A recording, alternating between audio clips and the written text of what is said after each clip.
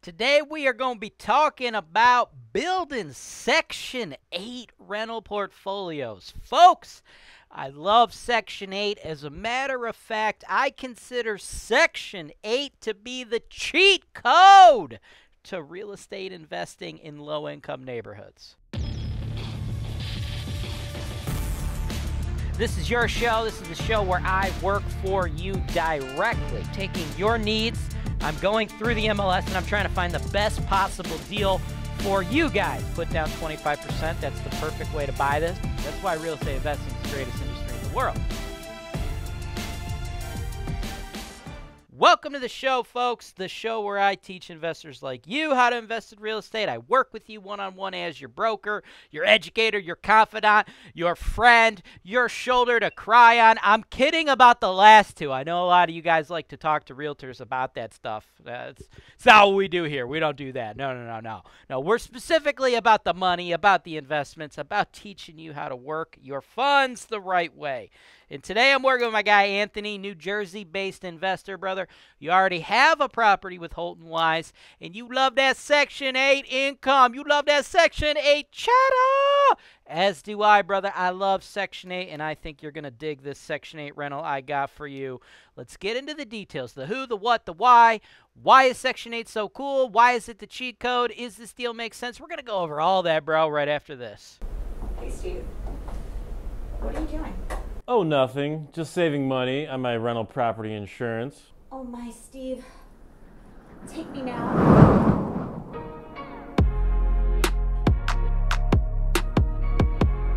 Holton Wise, real estate investing made easy. Wow, I'm so glad I clicked that link below. Welcome back. We are going to get into the details on this Section 8 rental, dude. I dig this one uh, quite a bit because it's got like a value add component too, but it's not going to necessarily have to be like a rehab, okay? 816 West 22nd Lorain, 44052. Priced at 66 grand, which is very attractive. 6 days on the market. This is like a value add opportunity and this is beautiful section 8 money right here, folks. But there's not section 8 money coming in today, and that's why we're going to get some some value add opportunity here, right? This is a big old house, and it's in pretty good shape, right? We got a tenant already in there. They're living there. They're doing their thing, okay? It's a little dated, but it's already making some coin. But here's what we got going on, okay? We have this tenant in there. I wrote this down. They're paying six and a quarter, right? Regular month to month cash tenant paying six and a quarter. This is not a six and a quarter rental. No, no, no, no, no. Now, this is a beautiful Section 8 cash flow monster, cash flow machine, cash flow. I don't know. It's going to make a lot of cash, though, when you put the Section 8 tenants in there. Why? Because Section 8 tenants will be paying 1050 1050 okay? 12600 a year. And then you run your fixed variable expense uh, estimates, things of that nature. You're looking to clear over 500 bucks a month, folks, right? Now, here's where the value add comes into play, okay? If you give me this property with a 1050 Section 8 tenant in it, I'm selling it for 80 grand on the investment properties for sale show in this neighborhood, right? 80 grand all day. Okay, maybe even 85.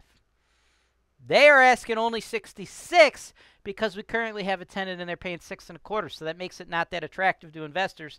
Some investors who don't know, who are not in the know, might not know what's happening, might think that this is actually what the market rent is, right?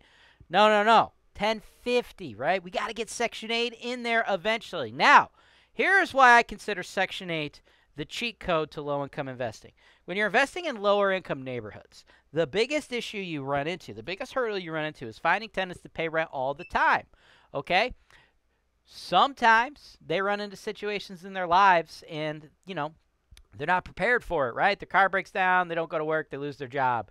Uh, they freaking blew the money on, uh, I don't know, freaking new shoes or something. Like, they just, they, they, when something bad in their lives happens, they don't have savings, and frequently they think you know not paying rent is an option. I I shouldn't say frequently; it doesn't happen all the time, but I'm just saying like more frequently than in non-low income neighborhoods. That's just the nature of investing in real estate, right? And the more risky a neighborhood is, right, the more risky you run into non pay. Okay, so my opinion on the whole matter is Section 8 alleviates so much of that problem, right? Because you eliminate that, right? Oh, you something happened, unexpected circumstance, you can't pay rent. Not when the government's paying it, folks. When the government's paying it, it comes in all the time. So that's our end game, right?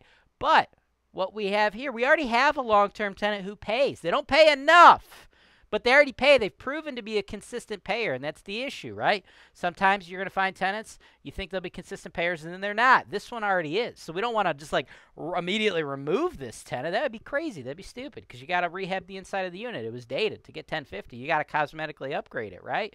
Somebody's not going to move in to that dated looking thing as it is, you probably got to spend five, ten grand to upgrade it. We don't want to do that. No, no, no, no, no. We want to keep that person in there as long as they keep paying, right? So I would probably renew their lease, right? Maybe bump them up to like 750 because that's still way cheaper than it should be. And then after that, go up like 25 bucks a year. Hopefully, we get them up to around a thousand or so before they move out. Then when they move out, then we bring in that Section 8, right? Here's the thing. You can't look at every single rental property's tenant as if the tenant will always be there. The tenants are important, but not on an individual basis, right? Tenants are important to your investments. Without tenants, you don't get rent, okay? But an individual tenant is fairly irrelevant to you as an investor. This individual tenant already pays. That's great. Let's ride that out as long as we can. That's a bonus. But the fact that this individual tenant is going to be paying lower than what your market tenants, your tenant base should and would be paying is what doesn't really matter, right? Collecting a little bit of less rent for a short period of time is irrelevant. Likewise, if you were to buy a property and one specific tenant happened to be paying more than what the market rent is, that doesn't make that house more valuable. That's just a small moment in time that's relatively irrelevant when you look at your investment over the long haul. So you got to focus on the market rents. So, with all that said, should be an above 80K property, 80, 85, 77, somewhere in there, right? Okay? If you already have the Section 8 tenants in there, more buyers don't focus on the fact that we got to focus on the long term, they do see that rent and they do their immediate price to rent ratio thing. So that's going to help us, but it's still in reality that's really what it's worth, right? So that's our value add here, right? So they're asking 66. I say we push it a little bit further, even harder because a lot of investors don't look at the long term. I say we try to pick it up at 62. If we pick it up at 62, we're looking at a $15,000 down payment. Bank kicks in 46, and assuming you were able to get that current tenant all the way up to market rent over a course of a few years, you're looking at a long-term cash-on-cash projection of 17%. That is why Section 8 properties are amazing, right? You can kick off a 17% return with relative consistency because the big thing is like 17%, that's great, but what if I really don't get my rent? When you go Section 8 for the long haul, you're almost guaranteeing you're going to get that rent. Thanks for watching. Subscribe to Holton Wise TV for more financial information, education, and entertainment.